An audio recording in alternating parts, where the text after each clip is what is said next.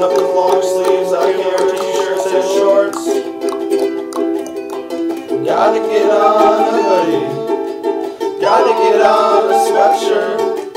Gotta hell always wear long pants. Oh. When you wake up it's colder. Then you gotta warm up hot shower. Or sun is the best. Warm tea is the best.